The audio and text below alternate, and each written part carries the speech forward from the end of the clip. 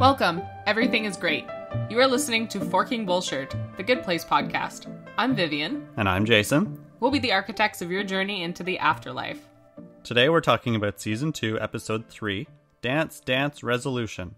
It was written by Megan Amram, who last wrote Season 1, Episode 7, The Eternal Shriek, and co wrote Season 1, Episode 11, Mindy St. Clair. This episode was directed by Drew Goddard, who last directed the series premiere. This episode aired September 28th, 2017. So, diving right into some responses from our last episode, Ruji Q said, How do you feel about the theory that the good place is also the bad place for Michael? He seems pretty tortured. We actually have that acknowledged in this episode. Mm-hmm. It's one of the solutions, quote unquote, that the gang comes up with. Yes, and personally, I actually think that that's the writers calling out a theory that a lot of fans have. Oh, absolutely. That Michael is in the bad place himself. Mm-hmm. That it's sort of a bad place within a bad place. At least that's what I'm hoping.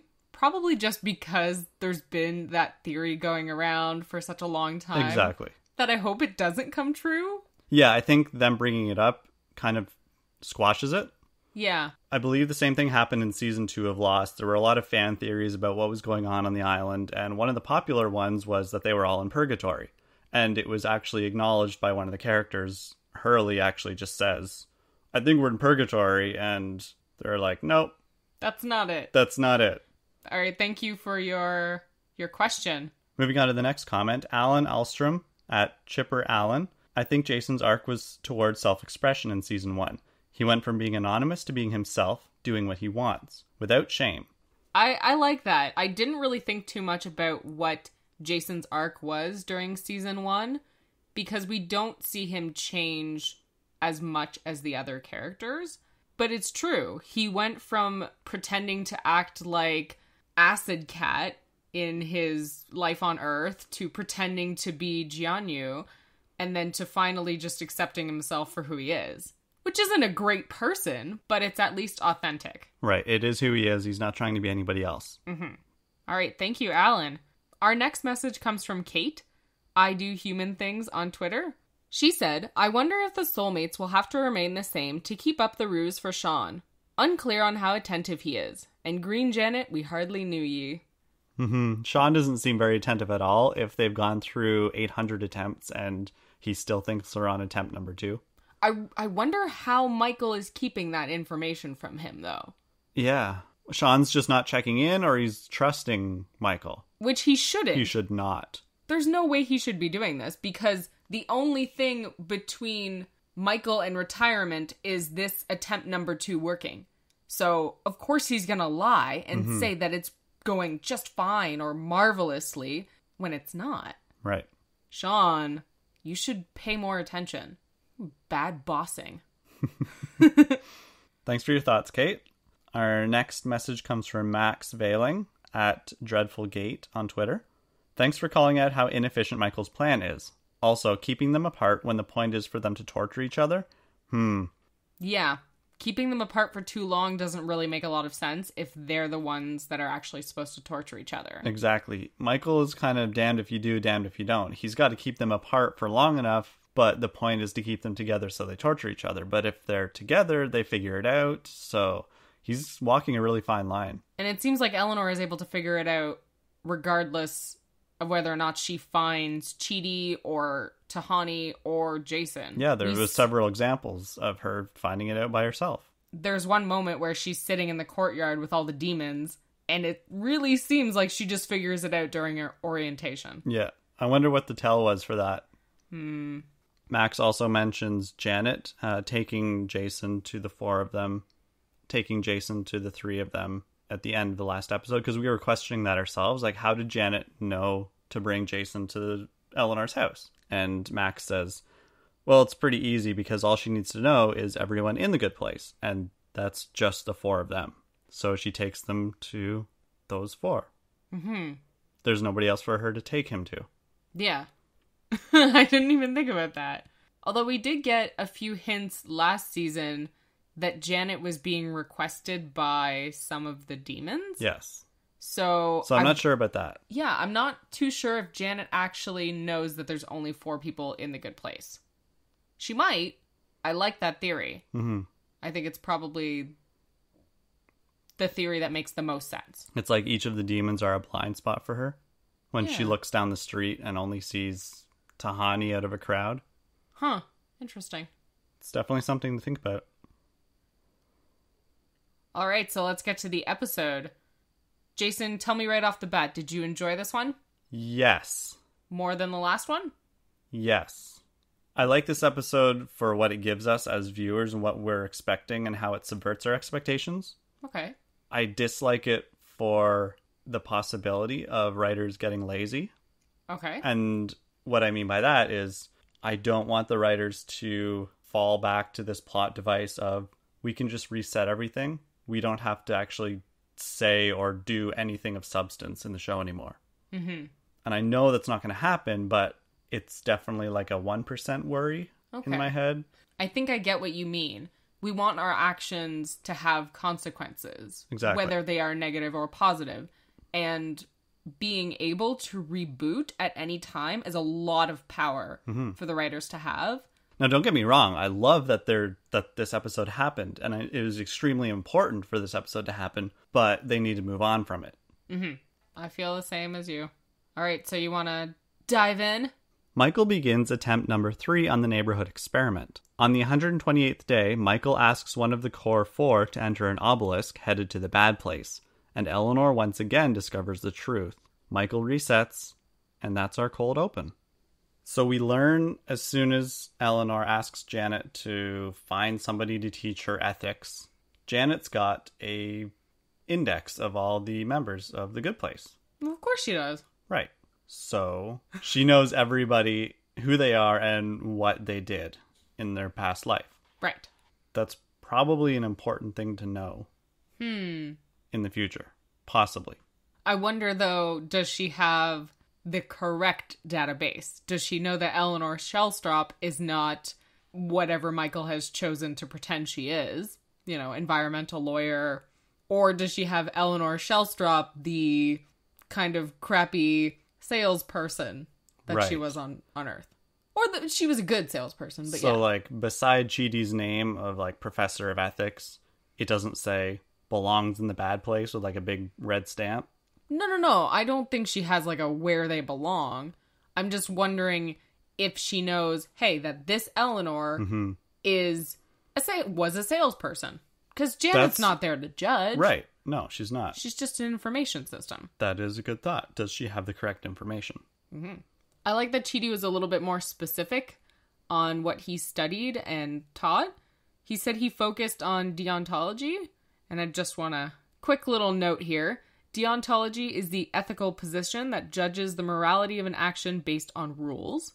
So it is sometimes described as rule or obligation or duty based ethics because rules bind you to your duty.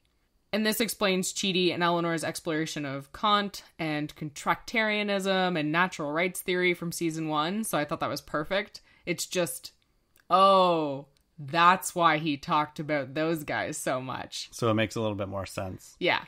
If you're paying attention along with us. so this cold open really feels like season one all over again because at the end of it with the obelisk, it's exactly like the train to the bad place that we got in season one. Mm-hmm. It shows that he's been backed into a corner again and that there's not really any way of getting out of this other than resetting. Right. So what's his end game? Like, does he think they're going to fight over who's going to go down there for the rest of eternity? Does he think, like, what's he going Oh. to do? I wonder, and this is sadistic. I wonder if he was thinking of trapping one of them in the obelisk and just like putting it in his office and just saying that that person ended up having to go to the bad place. Oh, that would suck. Yeah. Like an Iron Maiden, just like in this device, Mm-hmm. stuck, Yeah. unable to really move or do anything. Because all the others would be tortured, and the person stuck in the obelisk is, of course, tortured, just in a more traditional bad placed way. Mm-hmm. Mm. That would be awful. Yep. And then maybe in like 50 years, you could let them out and like they say they came crawling back from the bad place and like someone and could take their technically place. they were in the bad place, Right. right? That could be good. Oh man, I feel like I have dark corners of my mind now. If Michael had if Michael had executed that properly, I think that could have been genius. oh, that could have been so good. Not knowing if you're alive or dead or if you're dreaming or alive, you just just go insane. Yep. Okay, this got dark. Next. Moving on, I just really want to point out that I love Jason's line when he says, I'm too young to die and too old to order off the kids' menu. What a stupid age I am. that is a terrible age. I love it because, Jason, you're dead. Did you not get that memo? And also, I totally feel you on ordering off the kids' menu. Sometimes it's the best option. Sometimes that grilled cheese and french fries looks delicious. Yep. And that's all you want, and you want to pay four bucks for it. Yep. And that's it. So this is our second time seeing Eleanor reveal that this is the bad place. Mm-hmm. She really nailed it even the second time. oh, yeah. It was great. It was the the gasp moment of the holy fork and shirt balls. Oh, yeah. You really believe that this is the first time that she's discovered this. And every time she does discover it, it's still great. And we still get to see some great Kristen Bell acting. And we get quite a bit of it this episode. Yeah, she must have had a fun time giving us all those reactions. Oh, yeah. It must have been fun cutting that together. Yeah. All right, moving on. In attempt number 11, the core four have started studying ethics together. Eleanor discovers the truth when her soulmate begins to sing his spoken word jazz opera. I'm sorry, it's just Oh, that sounds terrible. spoken word jazz opera. They picked three things that I'm certain Eleanor hates Yep. with a fiery passion. A montage shows us clips from hundreds of attempts, Eleanor's realizations, Janet's reboots, and new neighborhood restaurants. In attempt 649, Jason is the one who figures it out. So, we start off and find out that the core four is studying ethics together, which I think is mm-hmm. interesting. Yeah, so Tahani's there. I'm wondering how that happened. And I also wonder if they know if Jason is Jason or if they still think he's Jianyu. He doesn't actually talk during that scene. That's true. So I'm curious. I wish we could see a little bit more of that, but we can see that things are a bit different this time, mm-hmm. right? Tahani is with them for some reason. I wonder if she knows who Eleanor is and knows what's going on. Maybe Tahani just decided to take these lessons with her soulmate Right. because she knew that he was going she whatever wanted to reason. get closer to him and connect on a different level. Yeah, and she wanted to, I don't know, allow other people to bask in her presence, I suppose.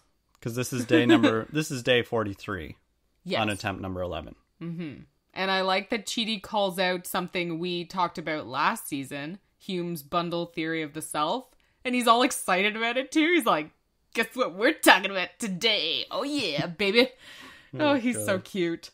And and Eleanor's potentially sarcastic, most likely sarcastic comment that it's gonna be a real banger. Mm-hmm. I like that. That's fun. Yep. Uh, Michael's line when he's in the jazz band, when Eleanor figures it out, it's just so ridiculously. It's like it's supposed to be cool jazz lingo, and like, but it's just so weird and wrong and off. That was a real trip for biscuits, and now we're all wet, Daddy-O. You know, it kind of works for Michael because he tries to appear human. yeah, which is fantastic. Like he he was playing with paper clips in season one, and mm-hmm. I just I don't know whether he's doing it to mess with humans or whether he's just doesn't f- understand humans. I think it's that. I think it's the whole take it sleazy thing. He just wanted to say it at some point. So then he heard some fun jazz lingo and he was like, that sounds cool. Let's try it out. Yeah. Which I'm okay with. Oh yeah, it's great. It's ridiculous. Oh, yeah. And the jazz band is also called the Jazz Splainers, Hmm. just like the Mansplainers. Oh, is that what that is? Yeah, I think so. Okay. So for attempt number 218 with Tahani as Eleanor's soulmate, how would that work? See, I don't think that Eleanor would have been like, hey, what's this? No, A of course woman not. No, my no, no. soulmate? That's not what I mean. Oh, okay. Jason and Tahani are supposed to be soulmates. Right? So Jason would be paired with somebody else. I'm assuming another monk, like he was in attempt number 2 Mm-hmm. Tahani would definitely be torturing Eleanor. Yep, and Eleanor would be torturing Tahani, I think, too. Okay. Because Okay. Eleanor doesn't let her get away with anything. Right. She's, She doesn't just stand by while Tahani goes on and on about all the famous people she knew and how great she was on Earth. Mhm. Eleanor is very obvious about her distaste for it. Right. I want to hope that attempt number 218 lasted for hundreds and hundreds of days. Oh yeah. And Eleanor and Tahani lived horribly ever after. see, a lot of people were saying, "Oh, I really want to see that attempt," and I do too. Yeah. I don't actually think it would work that well. Yeah, I don't Like, think it would either. Them as a couple. I don't think it would last long. It might last the day before Eleanor's like, this is torture. Oh, wait, this is the bad place. It might last a while. I don't know. It depends. Eleanor's kind of one of those people you have to grow to love, right? So it's possible that she would feel that way about her soulmate, but I don't know if it would have lasted hundreds and hundreds of days. Yeah, not even, not a chance. I think they would have gotten on each other's nerves too quickly. And then after Tahani was, A golden retriever. um, I'm talking before the golden retriever. Oh yeah, that guy looked like an elf. His name was Lurf. Wait, not an elf. He looked like a a gnome. Yeah, I, I don't even. I want to A know troll. if that's if that. One of the little troll dolls. He yeah, looked like that. Yeah, for sure. Yeah, not Whatever. in a bad way. No. he was cute. Just, But is he from something? I don't. His think name is so. Lurf. That's got to be something from somewhere. I didn't recognize a reference in there. Yeah, me neither. But it's got to be. Okay, It's guys, just so weird. if you know where this Lurf dude is from, if he's from anything at all, please let us know. Because I looked at him and I was like, well, that's a troll doll. but in a good way. I don't mean to say that he's unattractive. I just, the hair, it really looks like a troll doll's hair. Anyway. And then we got the golden Mm-hmm. then we got the retriever, golden retriever. Which is that such a beautiful 333, I think? Ah, what a life. And in one of the cutaways of her discovering it's the bad place, uh, we have the promo shot Mm-hmm. in the field of cacti holding the balloons. And I thought, how would she figure out it's the bad place in that situation? Why was she in that situation? And then I thought, maybe she was supposed to deliver balloons to somebody through a field of cacti. And then she realized this is the worst thing to do ever. Yeah, that, The balloons are going to pop.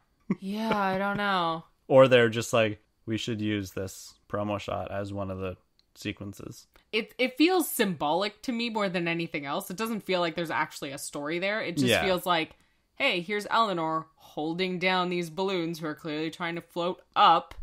She's being held down. There's all these cactuses down here. They're harmful things that hurt you. Especially balloons. Yeah, it just it felt very symbolic. Right. Yeah. And then there was another one where Chidi and Eleanor, it looks like they were on a date. Yeah, I think they were on a picnic date. Yeah, which okay, I'm in. I want to see that attempt. Sign me up. Yep. And then there was the it was the four of them hiding in Eleanor's house from that clown. What the heck is going on there? That was like a Buffy episode. I'd be Yeah. terrified. Yeah, monster of the week for sure. Yeah. Okay, I I just don't understand what that was. It was like floating around. Did Michael think, "Oh, I'm going to send a weird clown to Eleanor's house cuz dead giveaway, buddy." Yep, a little bit. I would like to imagine it was one of the paintings that came to life. Oh my god. Or like she woke up in the middle of the night and one of them was standing in front of her bed and she was like she was having a sleepover with the three of them and they all just were like, Oh, I don't know. Oh, I like that. The sleepover part. That sounds fun. Mhm. Oh my gosh. I wonder if at certain points he knew that they were about to find out. So he was just like, all right, let's just mess stuff up. So he just decided, okay, I'm going to make this creepy clown painting come to life, like you were saying. Because he was like, you know what? I need to spice fun. things up a little bit. I'm getting a little bored. At least I'm going to get to see them scared before I have to reset everything. hmm Sounds fun. And the one that I like a lot is that Michael clearly chose to have one attempt be full of monks so that no one would talk to each other. So he could just avoid them actually meeting up and realizing it. Right. I think that's so fun. That would have been great. Yeah. I'm just a little sad that we didn't get to see the other three. That would have been fun to maybe just see them further down the line. That could have been good. And we get a lot of great fail safe moments from Janet. Yes. The Hamilton tickets one is probably my favorite. Daveed Diggs coming back. Ah! Man, don't kill her before she gets to see Hamilton. That's true cruelty. I really like the new neighborhoods that we get to see as well. I'm going to point out the restaurant names because they're just so good and they go by too quickly. We have lasagna come out tomorrow. The sun will come out tomorrow. We get you do the hokey gnocchi and you get yourself some food. That's cute.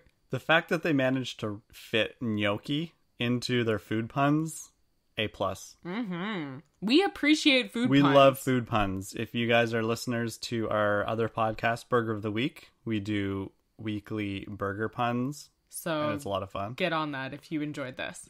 Yeah, so we appreciate these restaurants.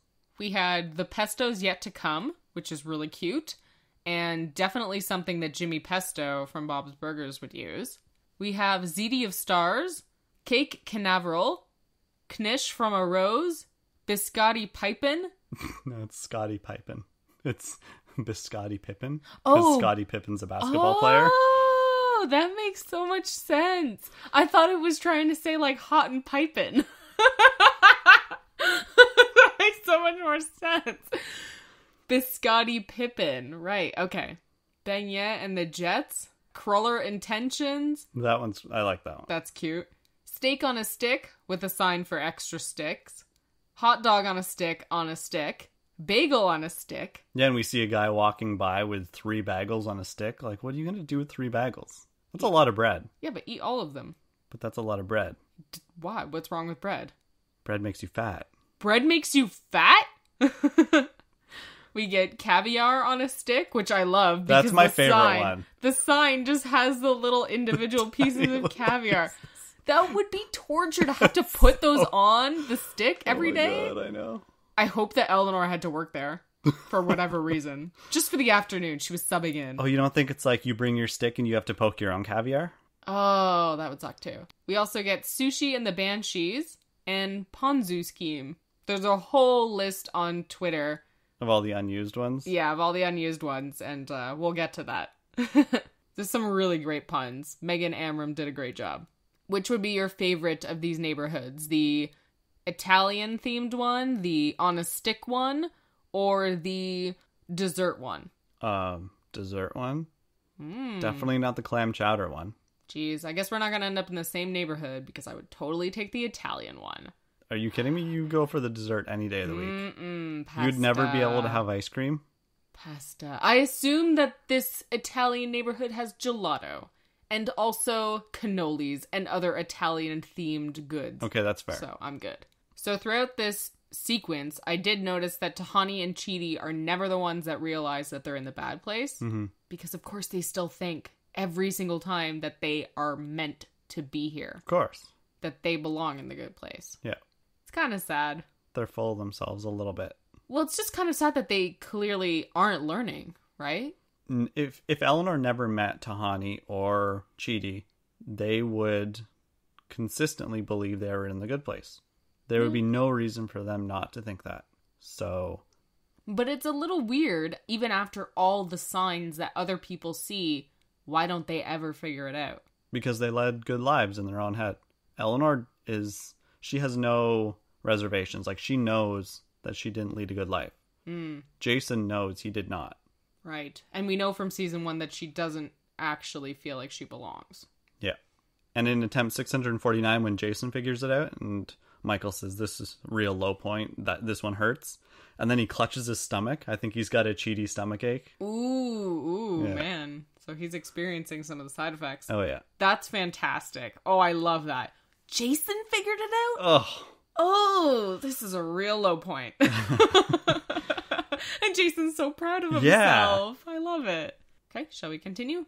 In attempt number 802, the demons go on strike. Vicky presents their demands to Michael and blackmails him. Chidi and Eleanor take a break from studying to get some clam chowder, and they discover they're in the bad place. Joined by Janet, the three of them go to the medium place. Mindy tells them they've already been there 15 times. So the demons are on strike. Yes, I like this. Yep. It really does feel more and more like a corporation, like you've said before. Mm-hmm. This idea that they're going on strike. It's kind of like Vicky is their union representative. And she has a list of demands and she's trying to negotiate something. It's Yeah, fun. I it like it. It's really good. And it also validates what I said last episode. Which is? Vicky wants Michael's job. Yes. Yes, definitely. So that I think is where this next batch of episodes is going to be headed. Mm-hmm. Clam chowder fountain. Ew. Just the idea of anything being in a fountain, just open to the air, bugs. There's no bugs in the good no, place. well, in this one, there probably is. That's and fair. even if it's not, it's just, it's gross. It just seems so unsanitary. And I have no opinions on clam chowder because it's been so long since I've eaten it that I just don't know if it's good or not. Ugh. I mean, it looks really gross. Ugh. So gross. And silly Chidi actually goes to take some. Ugh, Chidi, I'm questioning your life choices right now. Yeah, Eleanor's description of clam chowder is eerily accurate in my mind. A savory latte with bugs in it. Ugh. Hot ocean milk with dead animal croutons. Okay, all of that is Ugh. just disgusting. I wrote in my notes that was gross times two. Oh, yeah, it really is. When we see the demons, or when Eleanor and Chidi see the demons smoking their cigars, and the other one comes over and Todd. he's like that lava monster guy. It's so interesting to think that they're all in human suits, or mm-hmm. that a lot of them are in human suits. Yeah, you don't really realize that that's what they are because they're all just humans. Yeah. It looks like they're all just people. I wonder if we're going to get more of that. Maybe later on in the season, or perhaps in the next season, if we're going to start to see them take off those human suits. Super creepy.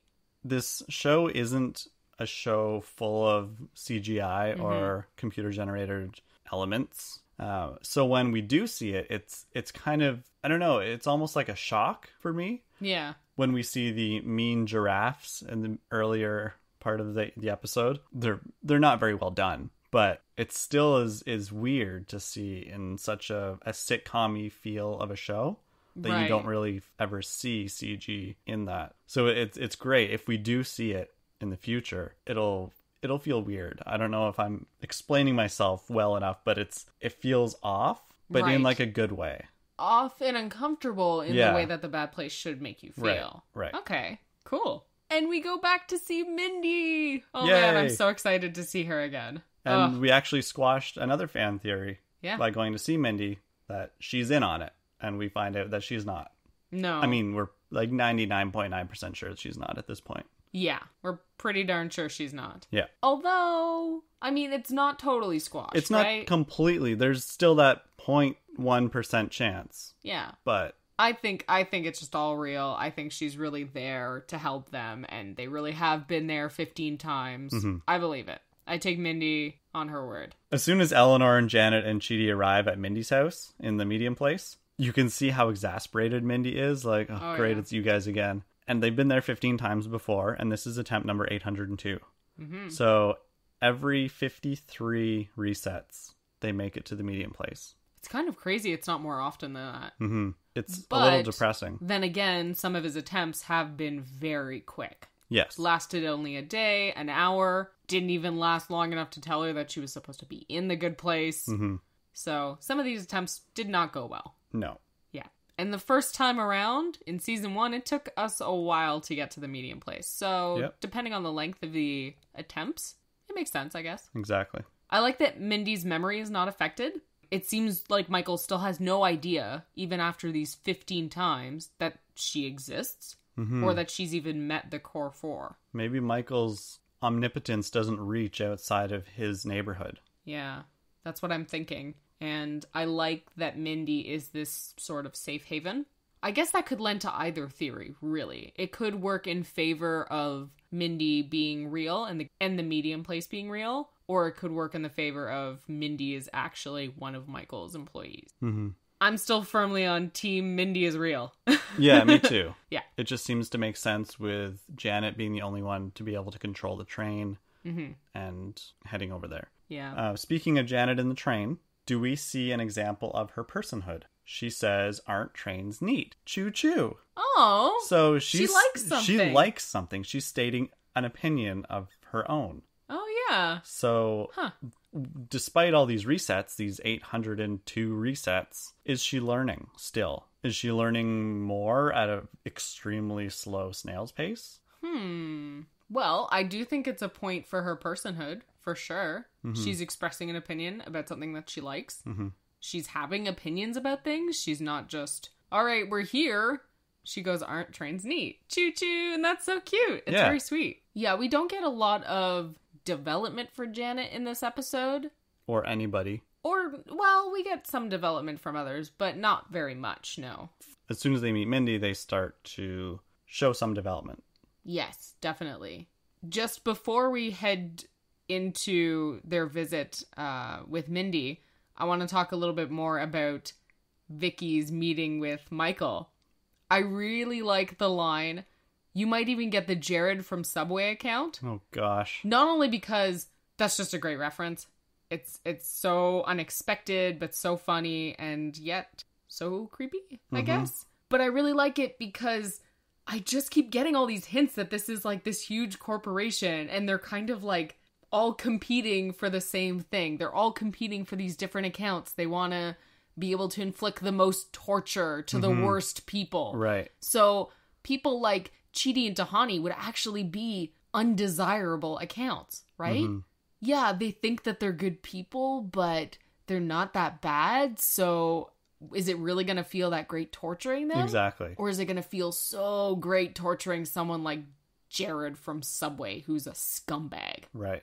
you know? Yeah. So I think it's fun. Yeah, I just imagine like file folders with the names on them, like, oh, here you go. Here are his stats, and this is one of the things that he hates, and this is why he's here. So go to town. Yeah, and you got to prove yourself, go up the ladder at this uh, bad place incorporated. Yeah, like after a thousand years, we're gonna check in and see how miserable he is, and if he's super miserable, then you might get a promotion. Ooh, fun. Might throw in another person in there.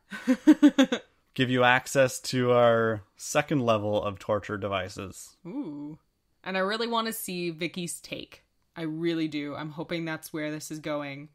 It's just going to be so interesting to see her kind of lead things and what she's going to do cuz she says she's got all these ideas. She's been, you know, compiling ideas because he's been failing for so long. It's going to be good. I don't think we're gonna see it No? Because that would mean they would have to be reset once again. Nope, I don't think so. Well, she said next reset, I'm doing it. I'm doing it my way. Mhm. So But I I don't think... think- we're actually going to reset. I think he's going to pretend Oh, I like reset. that. Yeah. I like that. Yeah. Actually, that theory comes from from our listener Kate. I do human things on Twitter. She said, "I imagine the trick will be faux wiping them so that they can undermine Vicky's and the others' schemes." I really like that. Yeah, I'm hoping that that's what happened. Kate, that sounds so good That sounds wonderful because Mm-hmm. that's like because we Being- would get to see Vicky's attempt, right? Mhm. And we wouldn't have to do a reset again. So everything that happened at Mindy's place really happened, and Eleanor knows about it. Chidi knows about it. Mm-hmm. Everybody knows about it. I think it would be so good. that would be great. Uh huh. That's what I want. Give me that. I would not be surprised if that's how it turned out. Yeah. I really would not be. And the candidate for the worst joke of the series is probably Vicky's down under line. Down whatever. under. Oh down under. It's so bad. Are you kidding? She really nailed that Australian accent. Oh no. it's not even that the accent is bad. It's, It's just bad. it's just a bad joke. It's such a bad accent, too. Oh, that's so bad. Okay, yeah, least favorite joke in the episode. I just I didn't laugh, I just cringed. I think that's the point. Uh, okay. Well, they succeeded then. Yeah. Mindy tells them about their previous visits and shows Eleanor and Chidi a list of their previous plans. In a bind, Michael bounces ideas off Jason. Frustrated by Chidi, Eleanor vents to Mindy, who shows her a video of Eleanor and Chidi in bed, confessing their love for each other. You're like she's I'm just I'm just Vivienne is smiling right Sorry, now. I'm just smiling. Okay. Before we get to all of the smiling parts, I love Mindy. I just love her. She's so funny. And she's so effortlessly funny too. And I love her explanation of why they keep going back. Well, sometimes you go back because I walk in on you while I'm masturbating. Oh my gosh. I Maribeth Monroe is hilarious. Her face is perfect all the time. she- her delivery for those lines are so good, and her facial expressions just everything adds up to weird person Mm-hmm. who's just a little uncomfortable and off-putting, and yeah, and yet watching her is fantastic. golden. Don't think I'd want to be in the same room as her, but you know, removed is good. Yeah.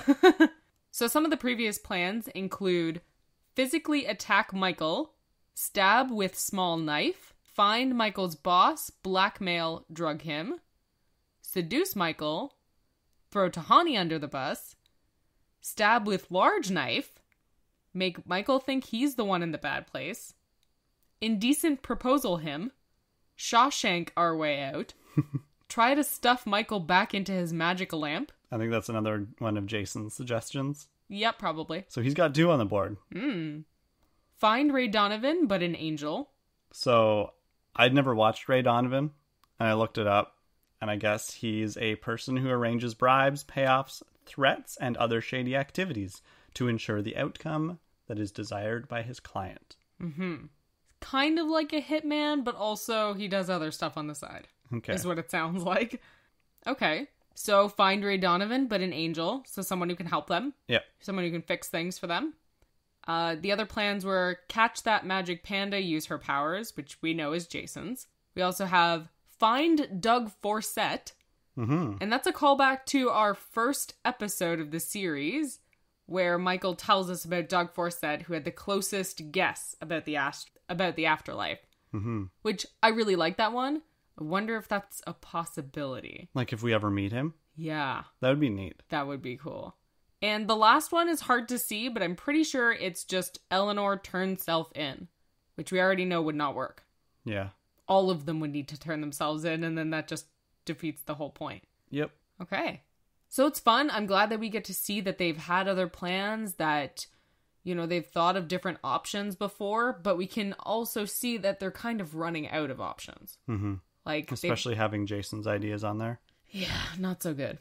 Now, Eleanor mentions this idea of the even worse place when she's getting frustrated with Chidi. And I kind of wonder is that possible? I doubt it. I don't think that they're going to explore that.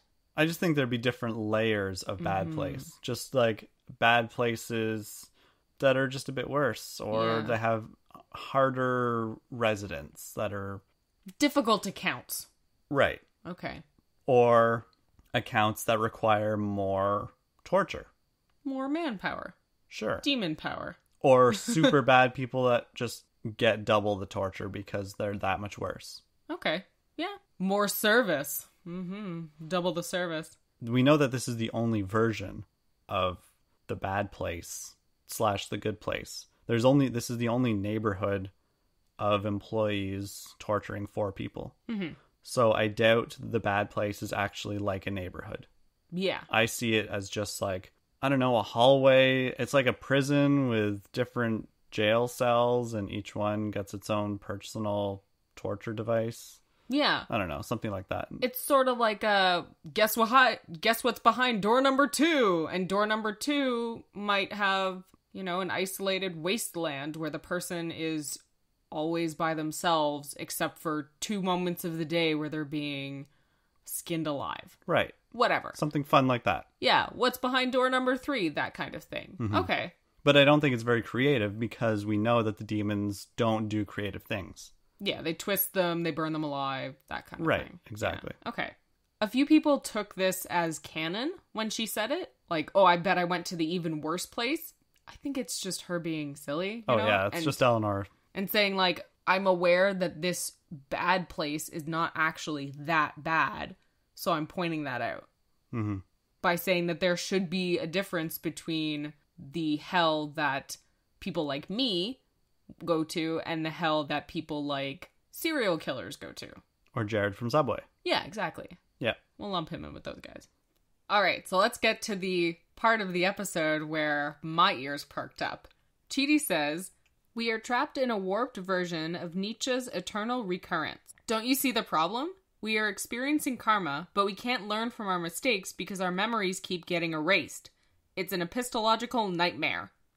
Well, Chidi has never watched Memento. Oh, yeah? Well, we're taught that sometimes you can learn through repetition. And I Mm. believe we've discussed this several times before. Yeah, we have. We've talked about the characters fundamentally being changed from their experience in season one. Right. Learning through instinct. Mm-hmm. Repetition begets instinct. Yes, but in Memento, the guy has a lot of help. Yes. Right. He lives his life from post it notes, Yes, tattoos. exactly. Post-it notes, tattoos, um, pictures, Yes.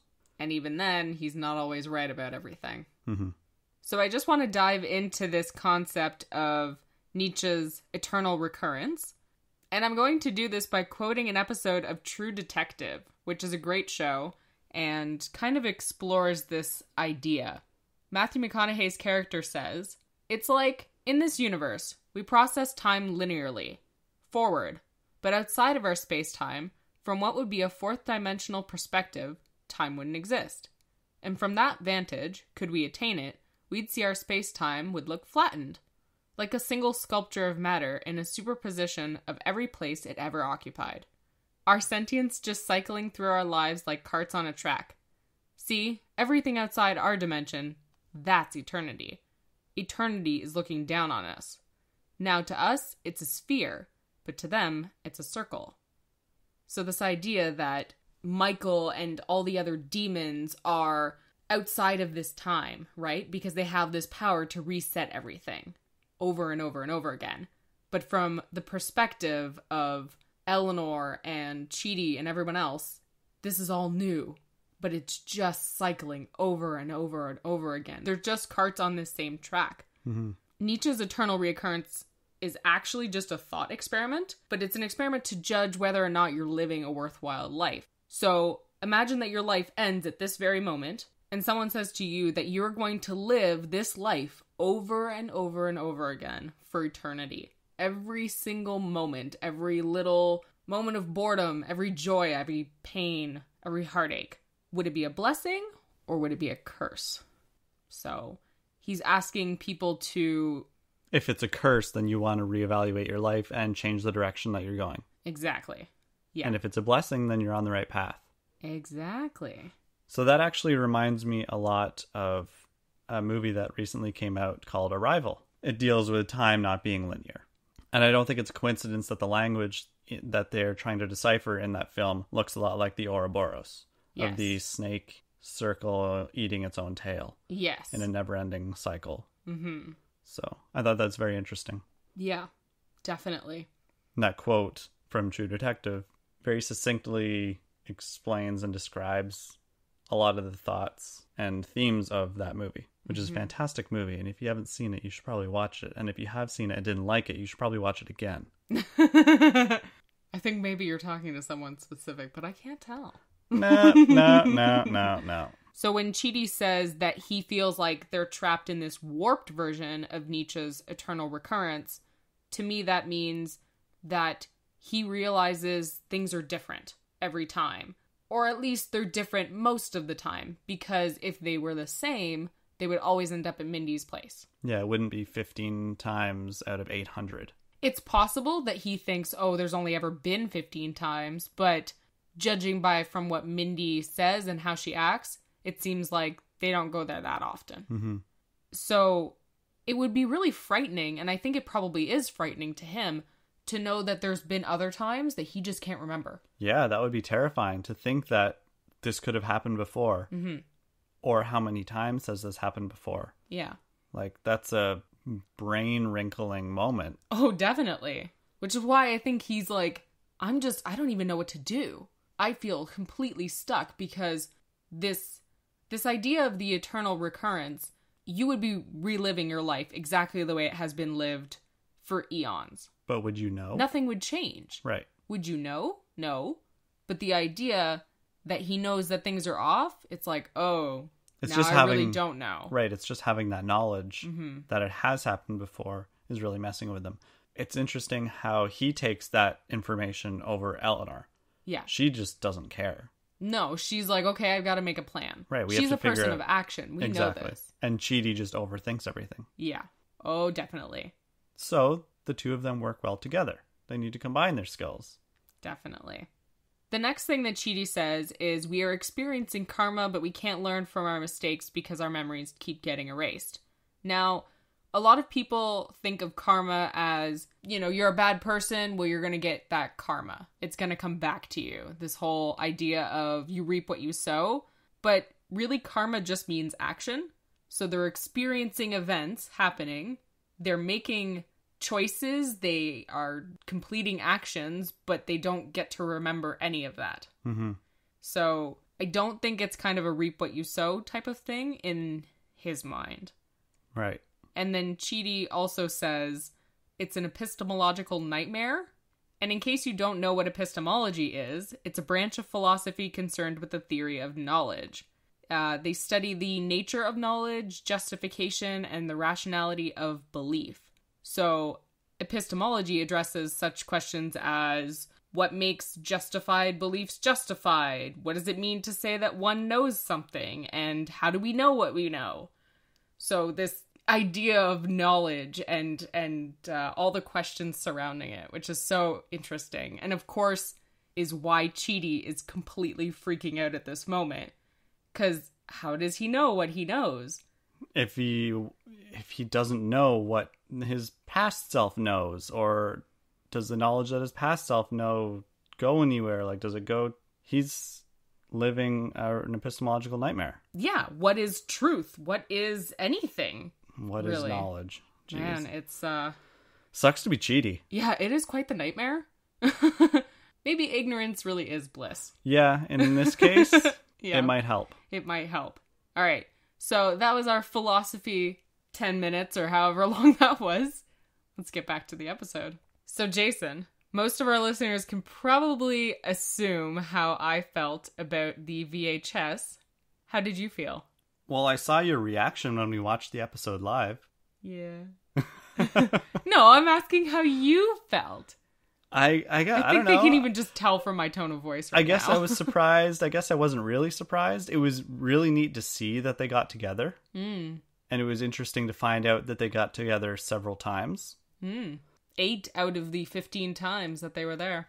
Yeah, um I want to ask you about the I want to ask you about what Mindy says. Okay. She says they got together 8 different days but 20 different sessions. I don't understand what that means. Does that mean that they hooked up 8 different days but multiple times per day? Yes. That's Okay. what I assume. 20 different sex sessions. It's impressive. Yeah. Way to go. So that's more than twice each of those eight days. Hmm. They really got it bad, like They- Mindy says. Exactly. They got it bad for each other. So, Mindy definitely ships Eleanor and Chidi. Oh, yeah. Eleanor says, "But he's just a friend. Like, like I barely know the guy." hmm And Mindy says, "No, Eleanor, you guys have known each other a really long time." And I think that's a very important line hmm for Eleanor to hear because she doesn't realize how long she's actually known Chidi for. Right. And we know that it's at least 800 days. So, taking, doing a little bit of loose math, like rough estimating, I did a little math. I thought, on average, perhaps each session or each attempt was 20 days. On average. okay. That means that they had been in the bad place for 44 years. Wow. Yeah. So we know that some attempts lasted much longer than 20 days. hmm Some attempts lasted much less, but I'm I'm trying to do a little bit of rough estimating here. Like 20 seemed like a good number. Okay. I did see a couple of posts online on Reddit and on Tumblr of people trying to figure out okay, exactly how long have they been in the afterlife? Mhm. And really, the answers varied from anywhere from three years to 55 years, depending on how generous you feel like being with the attempts. Right. But we know it's been years. Yes. And it's more likely, I think, that it's been at least in the double digits. Mhm. It's got to have been at least 10 years. At Yeah, least. for sure. So that's a long time for those demons not to get mad. It's a scary thought too that they've been in the, this neighborhood for 10 years hmm and they feel like they've only been there for what version is this? Uh 802 and so they're a week in. So they've only they feel like they've only been there for 7 days Yeah. when it's been years. hmm That would mess so much with my head. Yeah, it's Oh, it's scary. man. Yeah. See, as much as I like that line from Mindy where she says that they've known each other for a really long time, Eleanor doesn't remember that. So, despite having seen this on video, I'm just wondering how it's going to change things in the future between her and Chidi. Now that she has this knowledge that they've been together before, that she at one point genuinely loved him and Mhm. said it, and he loved her back, is she going to feel like, oh, I should love him now? Like, that's sort of a thing that I wonder about because imagine you were to lose your memory Mhm. of maybe a year or two And in that year or two, you had fallen in love with somebody. So you wake up from this y- coma, I guess, that you're in, and someone says, "Oh, I'm your boyfriend," or "I'm your girlfriend," and we've been together for this this time, and look at all of these memories that we have together, and we loved each other. Would that mean anything to you, or would you just feel a certain ache in your heart because you don't love them? And or you have to learn to love them again. I don't know. Yeah, it just yeah, it makes me sad more than anything. It's a scary question. And I mean, there is a great movie that Mm-hmm. has that idea of 50 First Dates with Adam Sandler and Yep. Drew Barrymore. Mm-hmm. We learned that through all these discussions with Mindy and all these sequences that we see, Eleanor always ends up with Chidi as a friend or Mm-hmm. as a companion or something. They find each other. They find each time. other. Yeah. They're always going to find each other. which I think is really sweet. It's But- just every single time is going to be a bit different. Yeah, right? but with this knowledge, does that make her um, feel any different? Mm-hmm. Because she Yeah. probably didn't have that knowledge all those other times. So now that she's been presented with this videotape, that's going to really mess with things. yeah, and Chidi doesn't know. Will she tell Chidi? Yeah, Will she show him the videotape?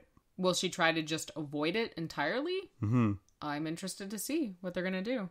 Because I know you want them to end up together. Well, yeah, So you want them to be happy together. yeah, So it's going to be it's going to be strange. yeah.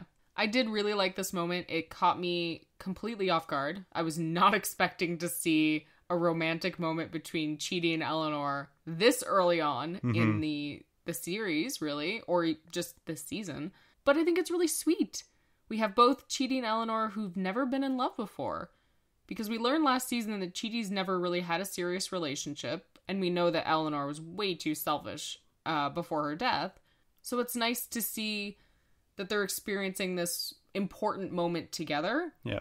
And we get to see in this video that this attempt they were in, they got to experience a lot of personal growth together. Yeah, we don't know how long it was until they slept together. It mm-hmm. could be, you It know, a month. It could have been years. It could have been an attempt that lasted 300 days. It could Yeah. have been an attempt that lasted 600 days Yeah. but failed. I think it's really sweet that Eleanor is capable of very genuinely saying that she loves him, and Chidi, without any hesitation, is able to say it back, mm-hmm. Which I think is so important. But what's also important is that Eleanor doesn't ask him to say it back. She knows that things are difficult for him. She knows mm-hmm. it's not easy for him to just say his feelings and I just I love that moment. It just shows that they know each other so well and that that love is really real. Yeah. And it's really sad to think that those two people, those versions of them, got it ripped away from them. Oh, I just made myself really sad. Oh, Yeah, anyway. those those people don't exist anymore.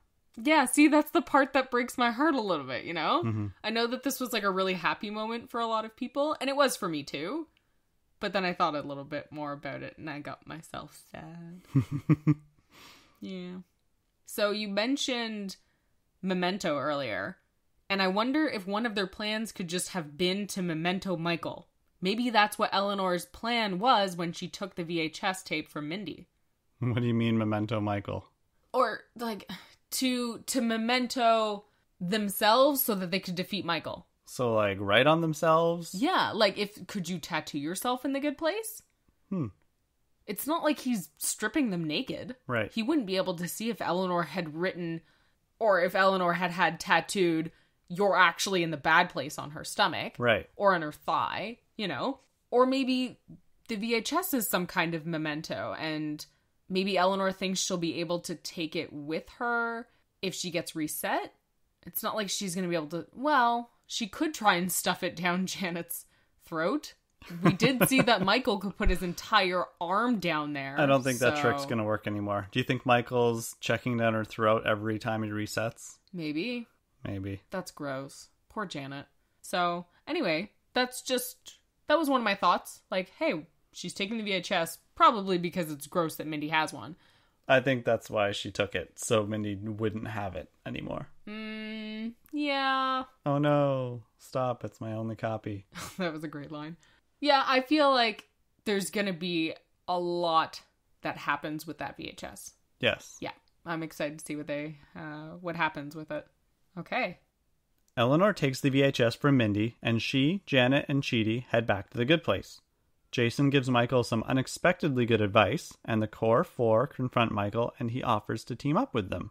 Hmm. New best friends? New best friends. I love his smile after that because it's still very creepy.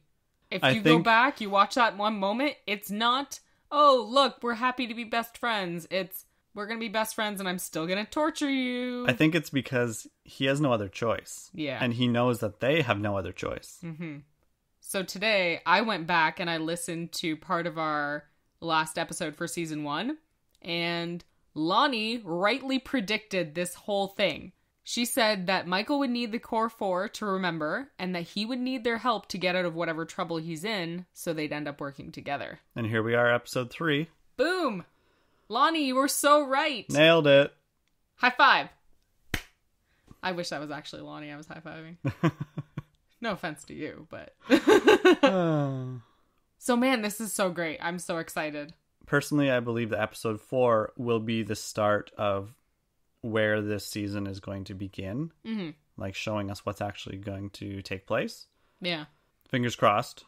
Yeah, this is one of those very unique network shows where you really don't know where things are going to go. We have no season. idea. Yeah, and it's so much fun to not be able to know in a way. It's it's really a lot of fun to theorize and to have all this suspense Mhm. build up every week. It's it's a lot of fun. With a like show it. that's so unpredictable. Definitely. I really wonder if this is how people watching Lost felt. Oh, yeah. I'm yeah? sure it was. Okay. Did you feel this way when you were watching Lost? You I did started- watch part of it live. I did. I watched. I started watching Lost live in season two, halfway through. So, I definitely had no idea where the show was going after every episode. Okay. Yeah. This really feels like I'm getting to experience Lost style theorizing and Mhm. and uh, suspense for sure. So, what did you think of Jason's story? I was confused by it. I don't think Jason knew what he was saying. Hmm. But it was dope. Right, it was dope. The end I don't know. by Jason Mendoza. what, what I mean is, I don't think Jason realized that his story would have relevance to what Michael was asking. and I think the main lesson is just using an alternative method to solve a problem. Don't use the obvious method. Right. Think outside the box. Yeah. So the obvious method from Jason's story would just be to band together and dance really well, to train hard and show them up, right? But instead, the alternative method was slashing their tires, hmm which isn't elegant, but will work. Gets the job done. Exactly.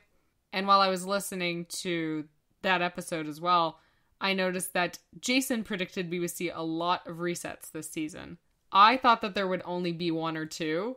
I was very wrong. I think I was also pretty wrong by me saying a lot of resets. I I think I only meant like I don't know, maybe 10, 15, Not 800. not 802. Hmm. But I still predicted resets. You did, and you said a lot. You did not specify. You Yeah. could have taken that one and just accepted it. But no, you've got to be like accurate and humble.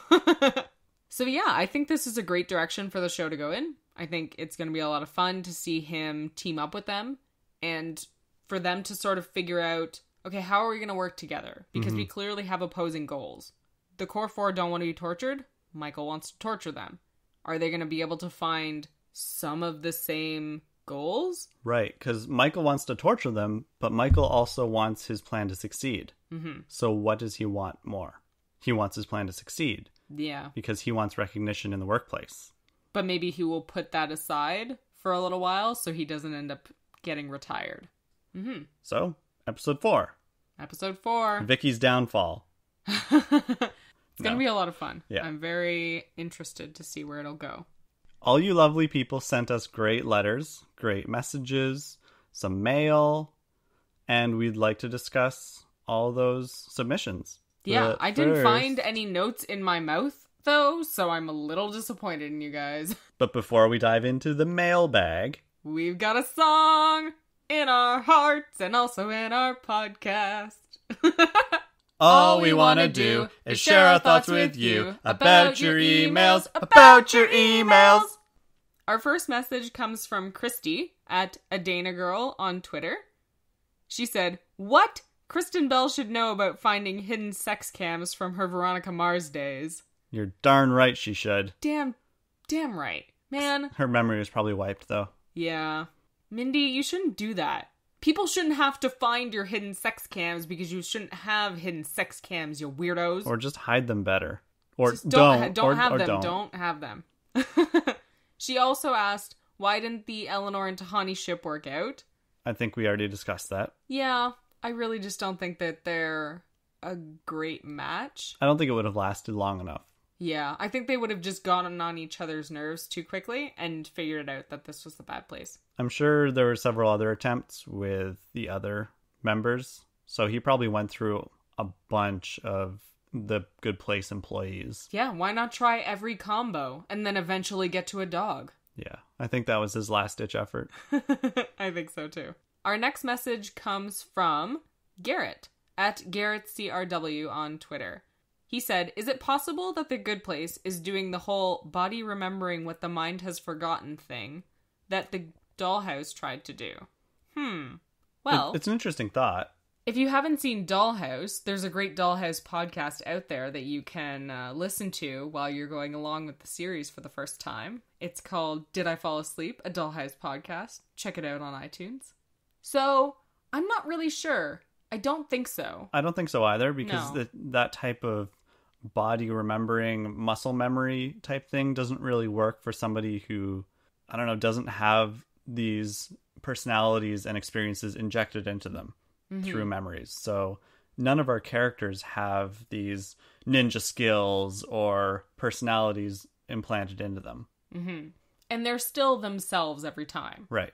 They're going through different experiences, but they're not experiencing an entirely new personality or an entirely new life. And we're not getting obvious hints that Dollhouse did that our characters are remembering from previous events. hmm We're getting very subtle hints that emotionally, morality wise, they've changed, but not really, Mhm. The hints are very subtle.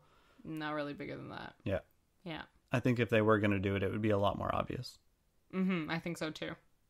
Our next message comes from Kathleen Hawks at Katie Hawks on Twitter.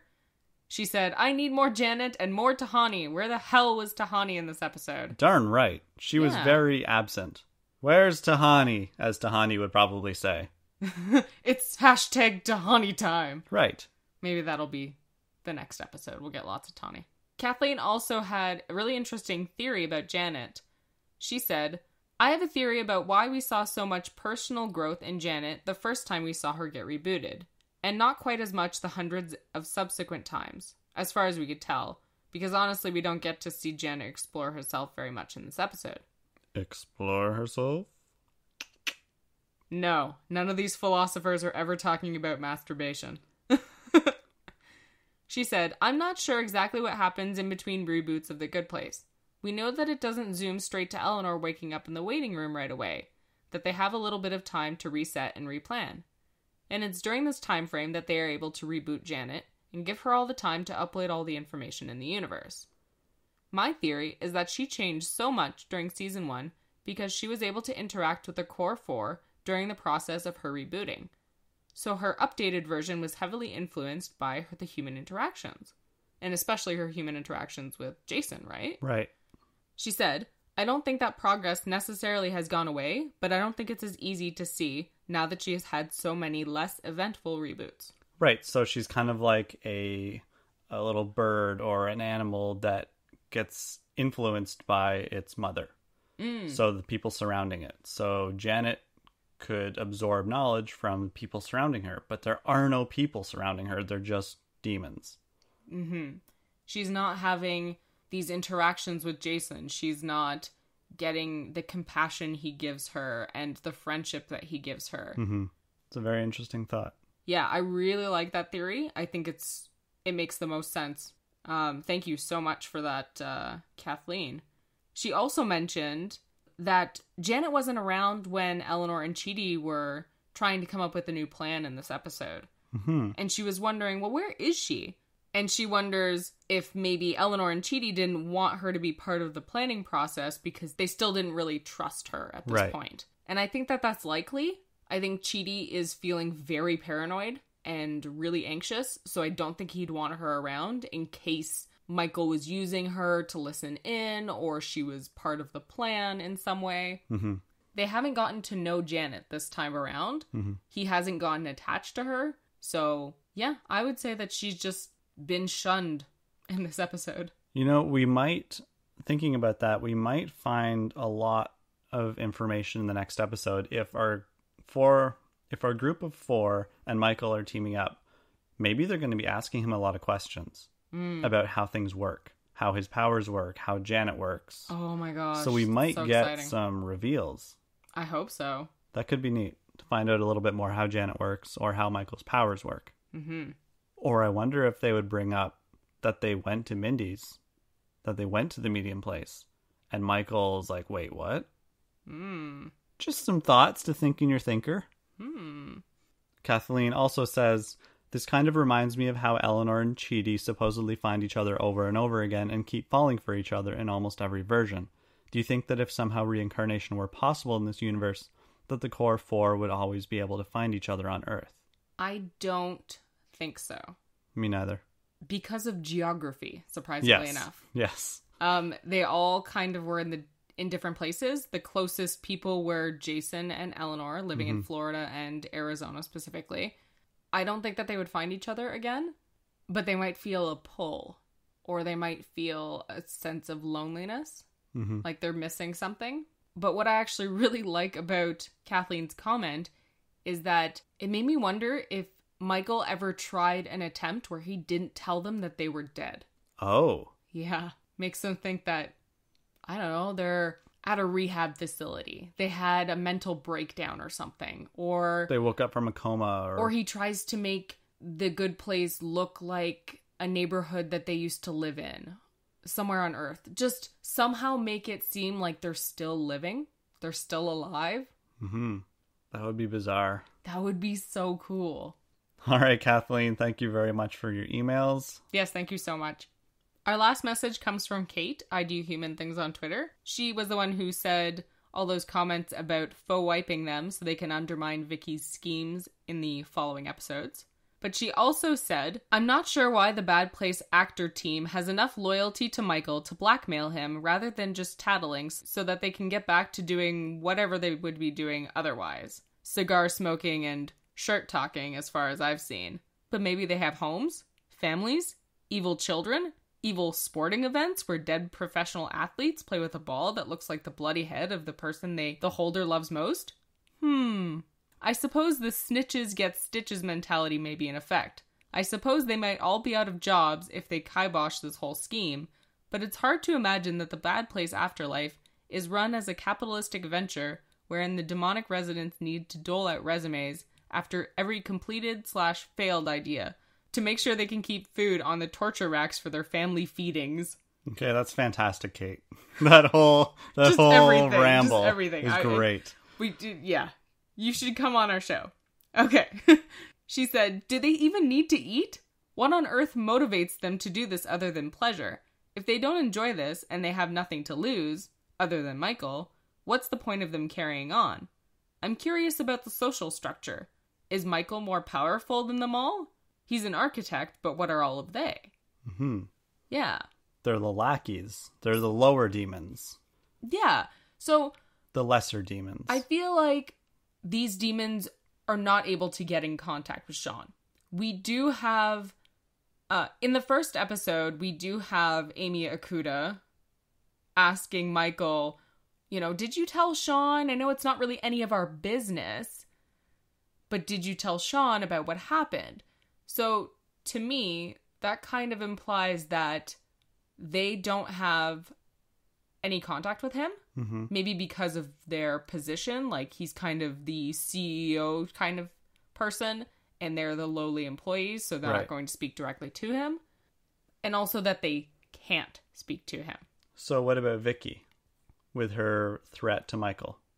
oh yeah i don't know. Because Vicky says she's gonna tattle. Basically, she's gonna go to Sean, and yeah why hasn't she done it before it's been 800 attempts Mhm. hmm they're a lot more tolerable. They probably live for millions and millions of years, so 800 attempts is nothing.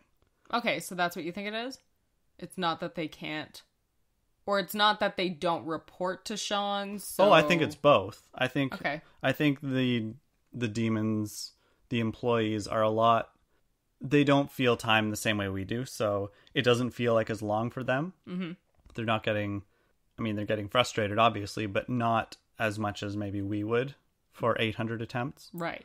But I also think that they do not report to Sean. They can't. They wouldn't. Sean wouldn't listen to them anyway. Like you wouldn't listen to a little bug on the street if it tried to talk to you. Well, I don't know. A talking bug? You wouldn't even be able to hear it. That's true. But the point is, I don't think that Sean would listen to them or that they can report to Sean. However, Vicky might have a way.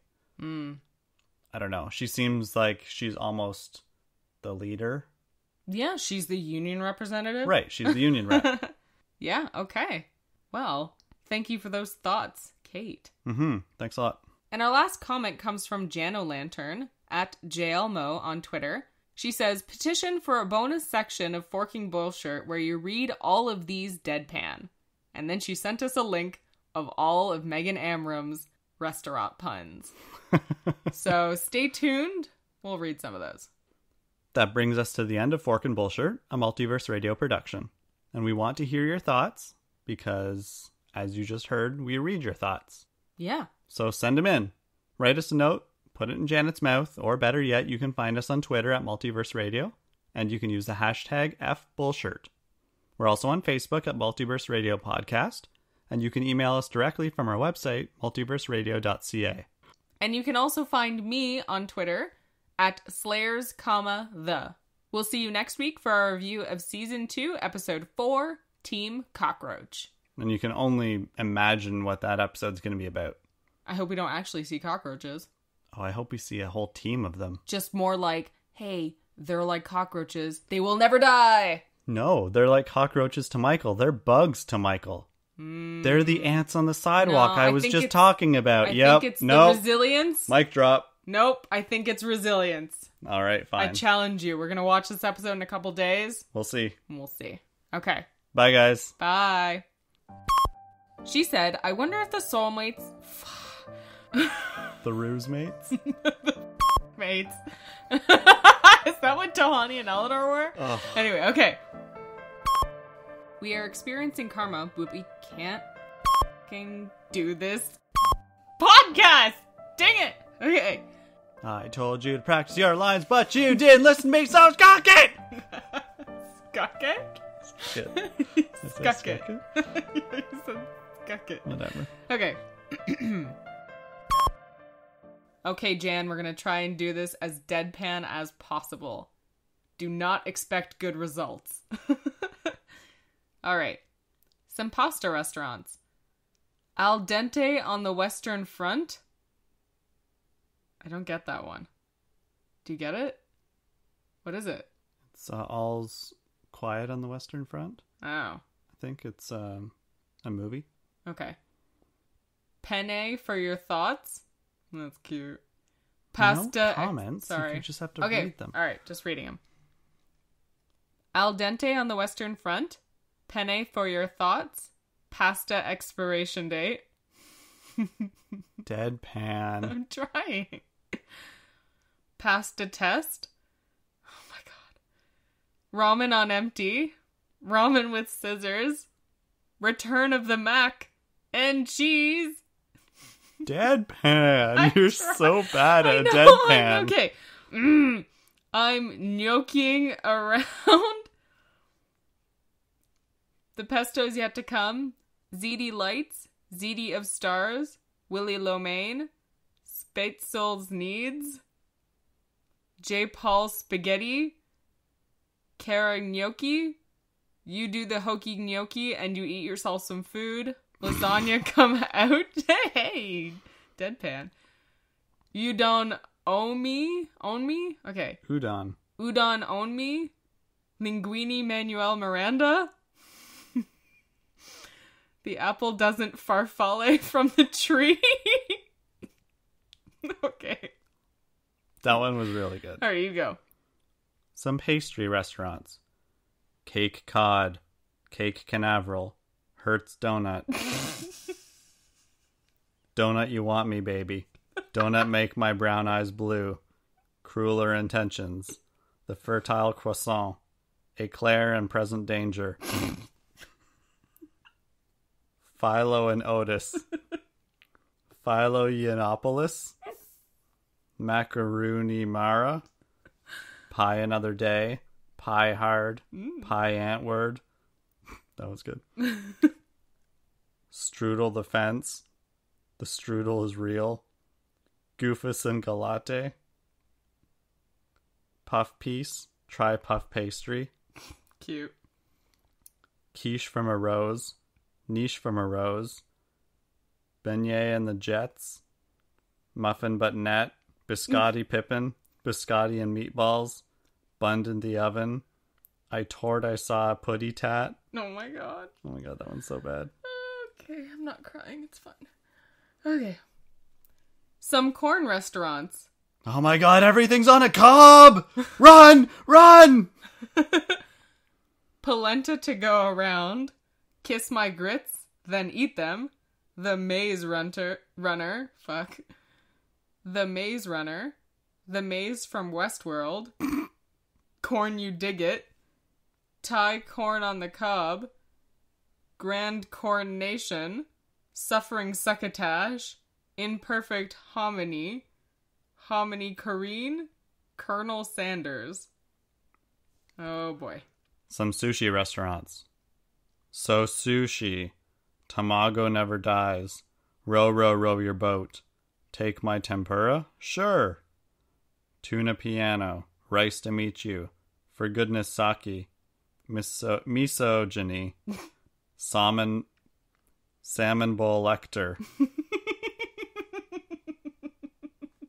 Seaweed rabbit. Chopsticks are for kids. Oh my god, that was so bad. The catcher in the rice. The ketchup in the rice. Ponzu scheme. Oh boy. Some bread restaurants. Toast of the town. Toast the rainbow. Loaf of my life.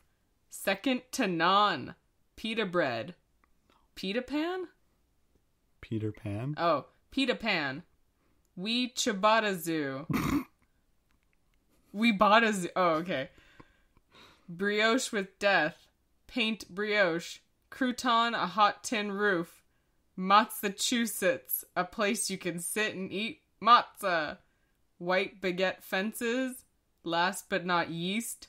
Yeast infect uh, yum. Oh boy. Yeast infectium. Focaccia red-handed. Bread pit. Some poultry restaurants. Squab goals. Chicken of the sea of the land. Chicken. Pot pie the sailor man. Wings Martin Martindale. Wings Martindale. Hot coq au vin. Au vin. Oh my god, cockle doodle doo. Oh, I thought it was Coco like do. Ralph Lauren Polo. Water Polo. Duck. Duck Duck Goose. Party Fowl. A bird in the hand is worth two in your mouth. A view to a quail. Quail yourself. I can be your feather figure. Chicken Corbin Bleu. blur. Chicken Corbin Bleu. Picada good recipe from the cookbook. Oh my god, those ones are uh, not the best. Sorry, Megan. Sorry. Squab goals is cute. Duck duck goose. Cute. A bird in the hand is worth two in your mouth. Also cute. Some cheese restaurants. Forever in blue cheese. Provolone again naturally. Fondue diligence. Brie larceny. Colby maybe. Call me oh, baby. Oh god. Okay. Good enough. Cheddar off dead. Cheddar off Ted. A queso the Mondays. Richard Gruyere. Keman Bear P B. Oh, Keman Bear B. Let's go party. A game of cheese. Why I ricotta. and some shrimp restaurant. Lady and the Scampi. Oh boy. Some of these really should have been in the episode. Thanks, Jen, for requesting this. It was a nice fun way to finish. Oh boy. Okay. And we're done.